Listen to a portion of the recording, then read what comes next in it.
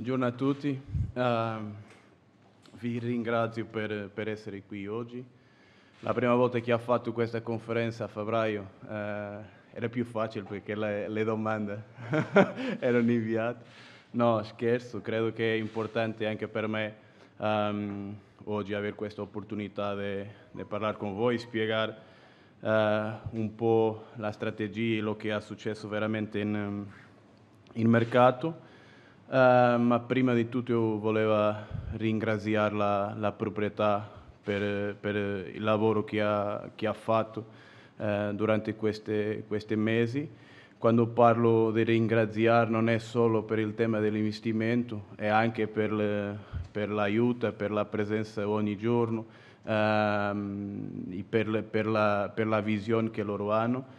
Eh, quando sono arrivato qui si parlava molto di un lavoro di squadra, ma non è solo teoria, è anche pratica. Noi abbiamo fatto le cose insieme, insieme con, con allenatori, abbiamo condiviso tutta la, la decisione che avevamo, che avevamo, bisogno di prendere. Um, mi fa piacere perché per me è così che, che, che, che si può lavorare e fare lo, lo meglio per la Roma.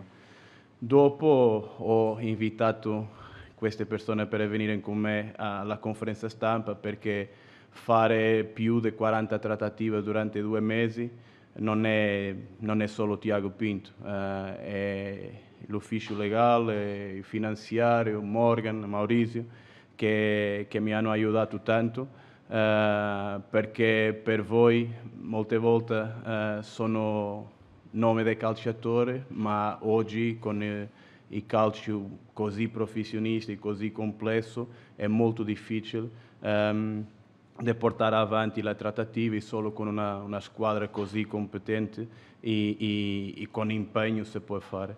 Um, e alla fine direi che io sono molto esigente con me stesso, um, sono il primo a rimanere arrabbiato quando le cose non, non vanno bene, ma io credo che questo è stato forse il mercato più difficile eh, della storia recente del calcio e alla fine io credo che noi ehm, abbiamo riuscito a fare un, un, buon mercato. Io non sono quello che, che, che, che vi chiama eh, dicendo che forse mh, ho fatto un grande mercato, che sono un bravo direttore sportivo, non è la, il mio modo di lavorare ma alla fine con questo contesto abbiamo riuscito a portare eh, il meglio allenatore del mondo a panchina della Roma, abbiamo riuscito a mm, diventare una squadra più forte, abbiamo riuscito a trovare soluzioni per più di 30 calciatori, sicuro che voi parleranno di cose che non abbiamo riuscito, ma io credo che alla fine eh, abbiamo fatto un buon lavoro.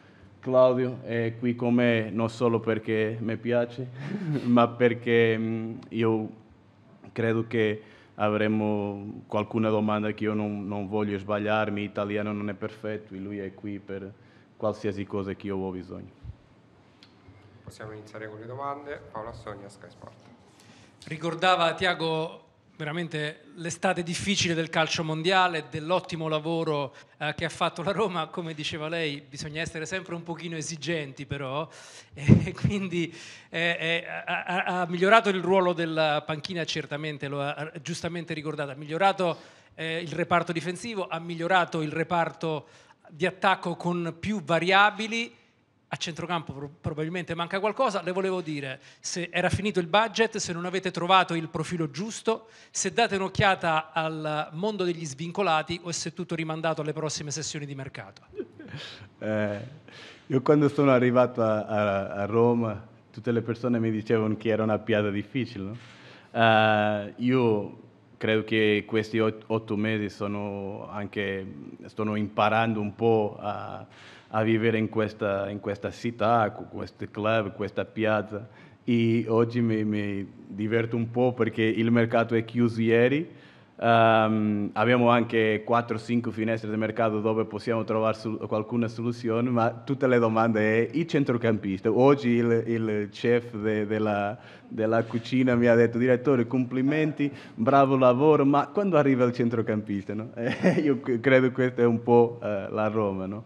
No, io credo che mh, mm, noi, uh, non è un tema di budget, perché dobbiamo capire che quello che noi abbiamo investito in mercato eh, è stato sopra quello che Dan e Ryan in una prima volta avevano, avevano eh, pensato, ma dopo eh, il mercato è dinamico, noi dobbiamo capire i momenti, eh, in determinati momenti dobbiamo, abbiamo avuto la, la, la, voglia di fare qualcosa di diverso per ehm, accelerare un po' il processo di ricostruzione della Roma.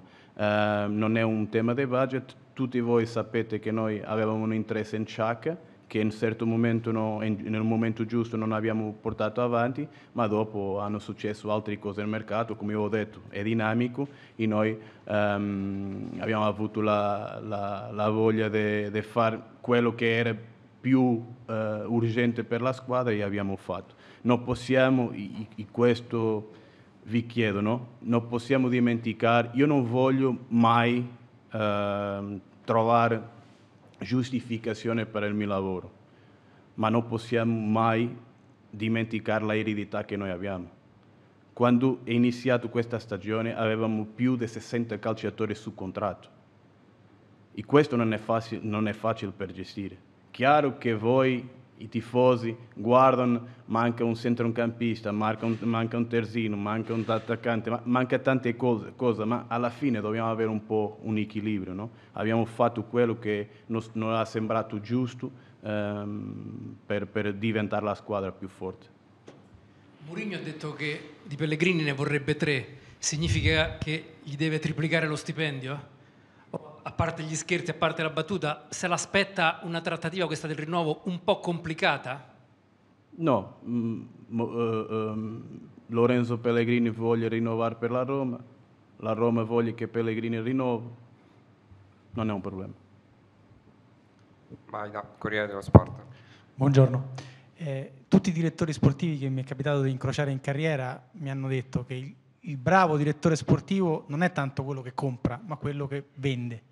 Ecco, lei è soddisfatto del lavoro che è riuscito a fare in quell'ambito delle cessioni e visto che sono rimasti degli esuberi che voi avete indicato chiaramente mettendoli in un'altra lista, eh, credo, mi corregga se sbaglio, restano Zonzi, Fazio, Riccardi e Santon. Ecco, eh, questi giocatori, visto che adesso il mercato è chiuso e potreste avere delle carenze, possono essere reintegrati? Tu hai fatto 10 domande in una, in una so. È la mia uh, specialità, sì, sì, sei bravo, sei bravo. Um, io non lo so con, con chi direttore sportivo tu parla, ma io credo che loro hanno ragione e posso invitare a te a fare una, una lista di quanti direttori sportivi hanno venduto calciatori durante questa estate, no? Uh, guardare per esempio lo set big d'Italia e quante, quante calciatori hanno venduto. Io credo che trovare soluzioni per più di 30 calciatori, anche se non hanno, non hanno eh, stato venduti, io credo che è un buon lavoro. Credo che è un buon lavoro. Trovare soluzioni per calciatori con ingaggio e stipendio così elevato, credo che è un buon lavoro. Forse eh, avranno direttori sportivi più bravi che me, sicuro, sono qua per imparare da tutti Um, ma mi sembra che questa domanda uh, è una domanda giusta in altri mercati. In questo mercato credo che basta. Uh, Athletic, per esempio, ha fatto una, una ricerca di come sono andati i trasferimenti in questo, in questo mercato e possiamo vedere e, e dopo se poi giudiziare se abbiamo fatto bene o male. Per me è chiaro che sarebbe meglio se, se, se riuscimo a fare qualcuna vendita, se riuscimo a trovare soluzioni per tutti i calciatori. Non abbiamo trovato eh, solo per quello che no, non hanno voluto andare. No, io credo che abbiamo 10, credo, 10 finestre di mercato aperte, ma 3-4 dove, dove, credo che, che si possono eh, trovare soluzione, lavoreremo per questo. Um, Mourinho ha parlato de, de, anche di questo tema. Noi abbiamo fatto il nostro lavoro, no? Noi abbiamo lavorato molto e abbiamo portato alla tavola offerte per tutti i calciatori, offerte buone, offerte dove nessun calciatore perdeva un euro. Dopo io non posso andare dentro della testa del calciatore. Uh, e così vediamo lo che succede, mercato, abbiamo mercati aperti, uh, lavoriamo uh, insieme altre volte con calciatori, procuratore, con tutte le mie staff e vediamo lo che succede. Dopo il mercato finito, vediamo. Cecchini, Gazzetta dello Sport. Buongiorno direttore, Buongiorno. volevo chiedere questo. Um, ha detto bene, eh, la Roma eh, sui giornali, in tv si sente che eh, è il club che ha speso di più sul mercato. I Fredkin hanno messo un extra budget, come ha sottolineato lei. La Roma ha preso il più forte allenatore del mondo, lo ha appena detto. Eh, L'Inter ha perso il giocatore più forte, Lukaku, la Juve ha perso il giocatore più forte, Cristiano Ronaldo, il Milan ha perso il giocatore più forte, Donna Arumma.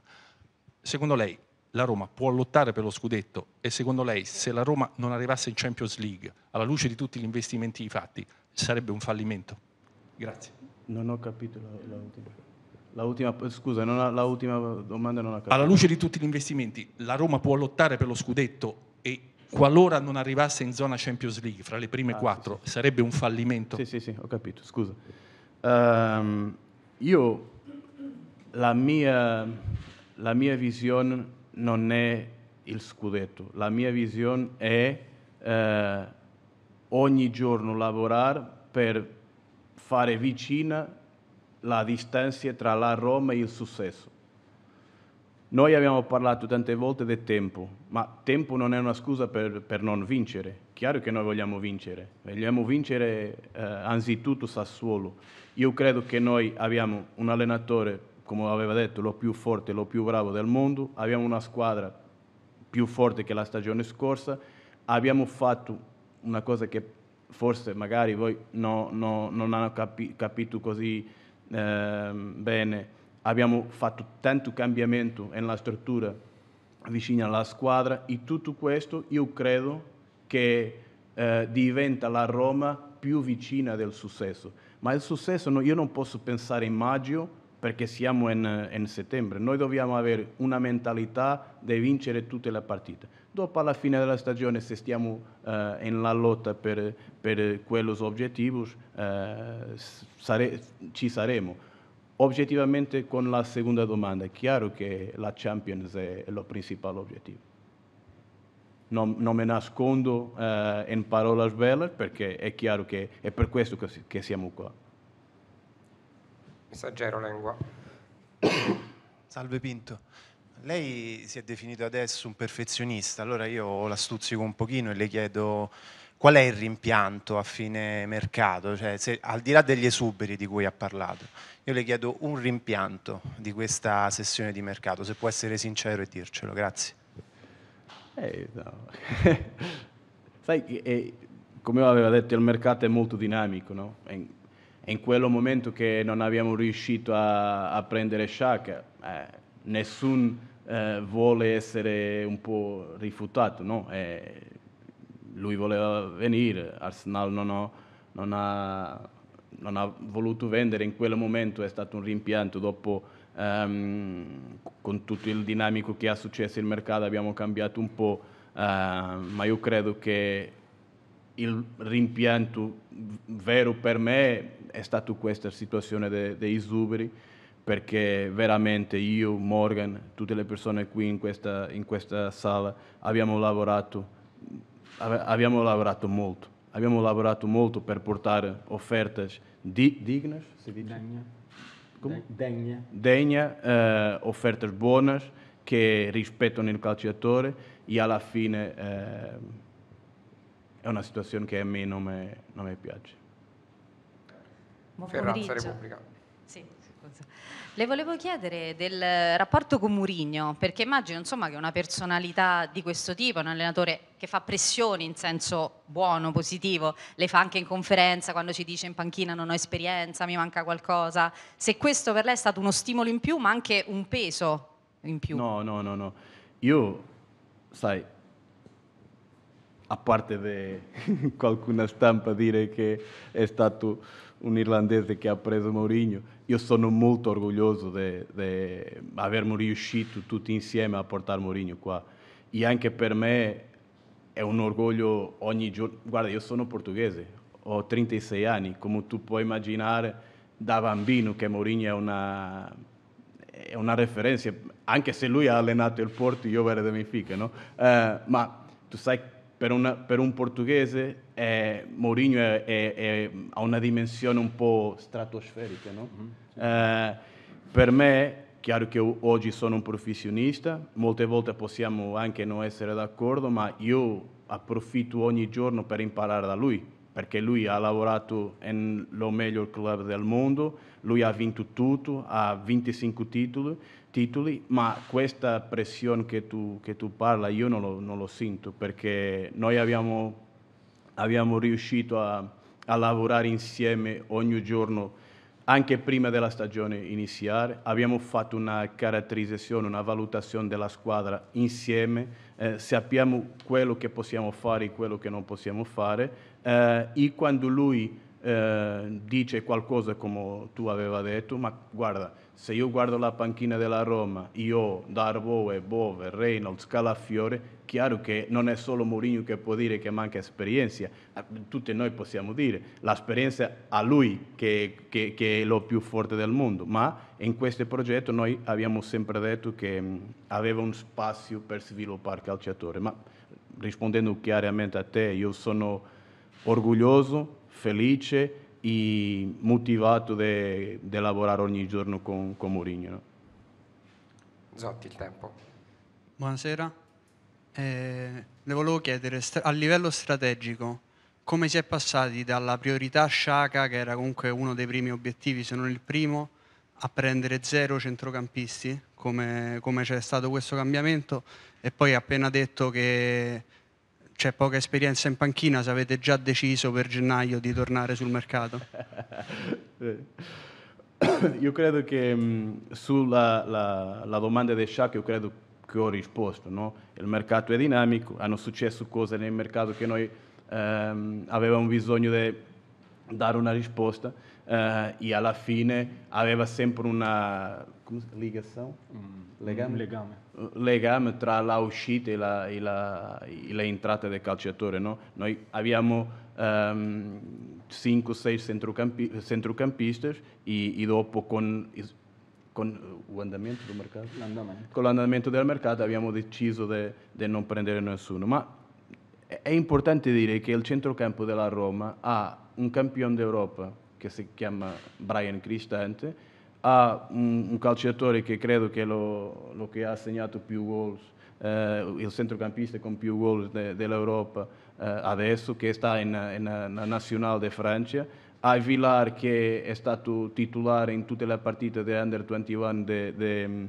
Under 21 di Spagna, a Diawara, a Darboe, non possiamo parlare come se non avevamo centrocampo, no? Io credo che è importante anche per rispetto a, a Cristianti avere tu a Diawara, a, a Villar e a Darboe che i Bove, che, che, che dobbiamo un po' capisco tutto che voi avete detto del centrocampo, la tua domanda fa fa senso perché io ho detto qui, è vero che abbiamo voluto prendere Sciacca, ma eh, adesso dobbiamo un po' bilanciare le cose. Quanto a gennaio, io ho una, una, una, una, piccola cosa che io penso un po' diverso da voi, che io credo che voi pensate che tutto il successo sportivo, forse la grande parte del successo sportivo, si centra in mercato e per questo oggi siamo qui per parlare di una finestra che ha finito ieri e la domanda è su gennaio.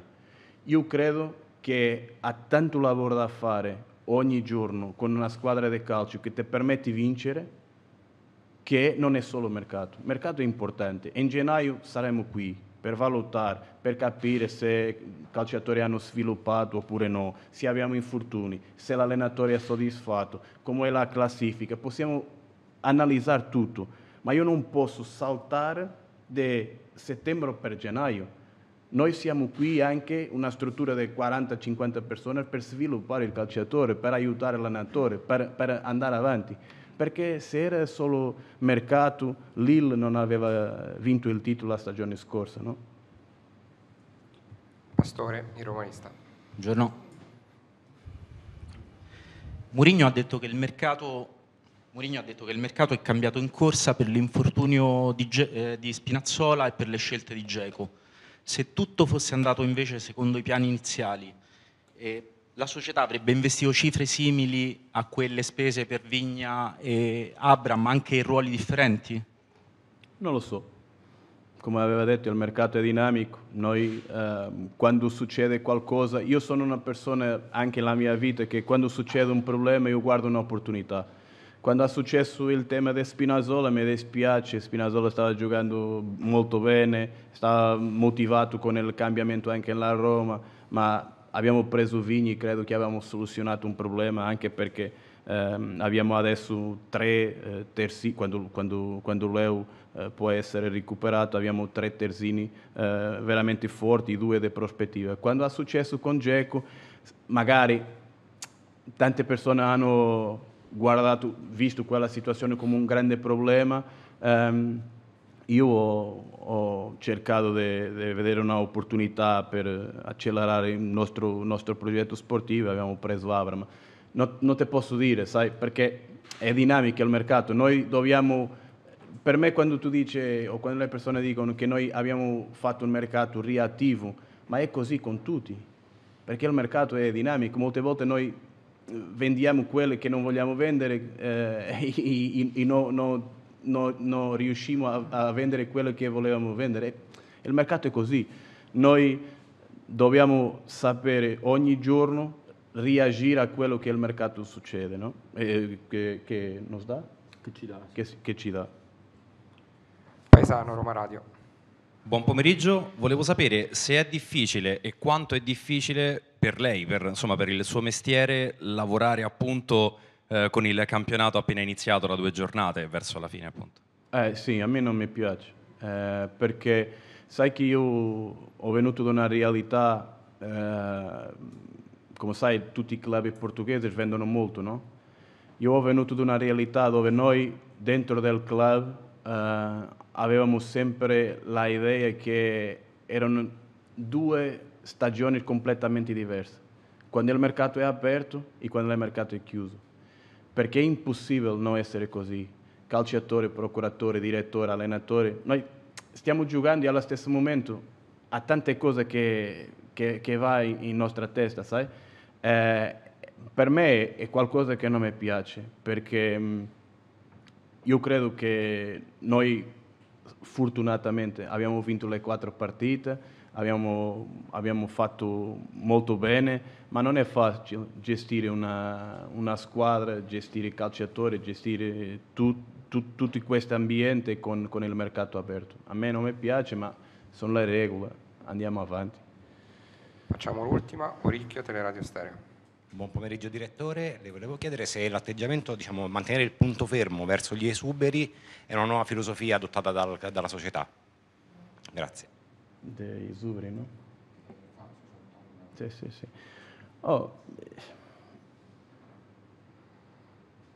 io, prima di essere direttore sportivo, uh, sono un, un, un tifoso de, del calcio io andavo al stadio per vedere il calciatore e l'allenatore, non per vedere il direttore sportivo come Tiago Pinto. Alla fine il mio lavoro è anche rispettare il calciatore, no? e rispettare la, la, decisione. Ma devo anche essere onesto, no, non è facile per me come direttore sportivo eh, trovare 4, 5, 6 offerte eh, che io considero eh, importanti e che no, no, eh, danificano. Sì, che non danneggiano. Non danneggiano eh, i contratti i, i, la onorabilità del calciatore dopo no, non accettare. Io ho detto domenica, prima la, la partita di Salernitana, questa è stata una scelta molto difficile. Iniziare la stagione, avere 60 calciatori su contratto, sapere che è impossibile per Mourinho, per qualcuno calcia, uh, allenatore, gestire tutti, tutti quei calci, calciatori in un allenamento. Kuman ha detto la settimana scorsa, no? Io sono un allenatore che ha fatto 4-5 corsi, ma nessuno mi ha insegnato, insegnato a lavorare con 34-35 calciatori. Noi abbiamo fatto questa scelta per ridurre il gruppo e per dare la possibilità di creare questo ambiente che io credo che tutti voi eh, vedono, no? una, una, squadra compatta, coesa, unita eh, e eh, disposta eh, a lottare per la Roma alla ultimo eh, secondo. E questo atteggiamento, questo spogliatoio, questo ambiente non cambia, è inattaccabile. Dopo è con me, è con me, è con eh, gli avvocati, eh, io sono qui per prendere eh, la, la, responsabilità. Io ringrazio molto tutti i calciatori che sono stati in questa situazione, ringrazio anche i procuratori perché il 95% di loro hanno fatto veramente un sforzo per trovare una soluzione. E non voglio parlare di nessuno, ma a due o tre che hanno fatto veramente uno sforzo eh, importante per, per, per, trovare una soluzione. Alla fine siamo tutti eh, esseri umani liberi che prendono la decisione e dopo noi abbiamo la conseguenza. Grazie a tutti. Non ha più domande? Chi sono i William? no, no, come? Chi sono i No, io no, non, voglio, non voglio parlare del nome, ma io, io, ho sentito calciatori importanti che hanno fatto veramente un, un, un sforzo uh, per dire no, io capisco il momento, voi stanno facendo un, un, lavoro incredibile, io sono qui, lascio qualcosa, io vado da una parte che mai ho pensato che poteva andare per giocare. Per... Io questo, questo tipo di calciatore per me eh, io ricorderò sempre. Villar è calciatore della Roma, è un bravo calciatore, un bravo centrocampista e l'anno scorso ha giocato 42-43 partite, io credo che lui deve approfittare l'opportunità di lavorare con Mourinho per sviluppare eh, sul gioco e, e, per diventare un calciatore più importante eh, dello che era. Ecco, si è sentito il peso di Mourinho in questa, in questa sessione di mercato? per capitare con il suo fascino? Okay. Completamente, io credo che, uh, io credo che quando forse, forse le persone non, non, lo vogliono dire, ma io per me è un'altra volta, è un orgoglio e, e, e ci aiuta, no? Quando tu vai quattro giorni, cinque giorni a Londra, Uh, io avevo, credo che è stato Roberto che mi ha detto, io, io non ti ho detto niente, ma io pensavo o porta Abraham o prendo un aereo per Portogallo. No? Eh, quando, tu, quando, tu vai, quando tu vai a fare una, un lavoro come noi abbiamo fatto, non è la stessa cosa avere un altro allenatore e avere Mourinho. E questo è chiaro un vantaggio che noi, eh, io credo che, che, siamo stati bravi anche a, approfittare Um, e io credo che è stato una, un aiuto molto molto grande. Direttore, mi scusi, già che ci siamo, ci può dire quando prevedete di far tornare Smalling a disposizione e a questo punto anche Spinazzola, visto che è un eh giocatore sì, no, della Roma? Spina, Spinazzola non posso parlare perché mh, è, è, più, più complicato, no? è, non, lo so, non lo so esattamente perché lui sta con una voglia incredibile di ritornare a, a giocare, noi dobbiamo fermare un po' l'aspettativa. No? Smalling io credo che la prossima partita con Sassuolo è disponibile, lui ha fatto una, un precampionato buono, dopo ha avuto quell'infortunio, ma io credo che non è niente di grave. Direttore, volevo chiedere questo, pensa che ci sia un margine di rischio nell'aver dato eh, gratis o quasi gratis a cifre basse giocatori come Geco, Pedro e Florenzi a delle competitor dirette? Um, quando in questa, questa vita qualsiasi decisione è un rischio. La porta quando decide di lasciare andare via Messi è un rischio incredibile, no? Uh, questi tre calciatori che tu hai parlato sono tre situazioni diverse, uh, ma quando un calciatore non vuole eh, giocare nella Roma, vuole andare via, giocare per l'altra squadra, per me questo è importante, perché noi stiamo costruendo un progetto nuovo e diverso, dove le, le principali referenze della squadra devono mor- morire, morire? Morire. morire per la Roma. Abbiamo, abbiamo riuscito a trovare un accordo con tutti loro. Io credo che alla fine, se noi guardiamo il mercato, se guardiamo lo che è successo con Cristiano Ronaldo, che è successo con Messi, che è successo con Griezmann, se noi guardiamo un po' lo che è successo, che, che è successo con questi big calciatori, vediamo che alla fine la Roma non ha fatto niente diverso da che le altre hanno fatto. Forse ha comunicato peggio, forse ha comunicato peggio. Sbaglio io perché voglio sempre comunicare la verità, ma alla fine credo che tutti noi sappiamo che stiamo parlando di ingaggi importanti e che noi per fare questo management sostenibile che io ho parlato tante volte dobbiamo uh, fare la scelta che abbiamo fatto. Ma sono... Ronaldo e Messi sono andati a giocare in altri campionati. Sì, sì, no, io...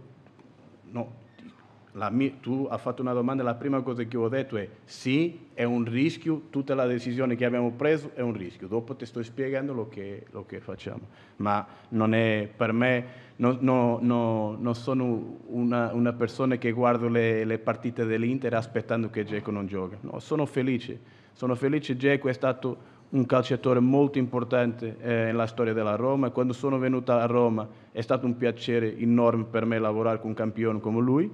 Eh, ma io, la stagione scorsa avevamo Jack e Borja Maioral, adesso abbiamo Borja Maioral, Eldor Shomodorov e Tami Abraham. Non mi sembra, non mi sembra che possiamo stare peggio. Facciamo l'ultima.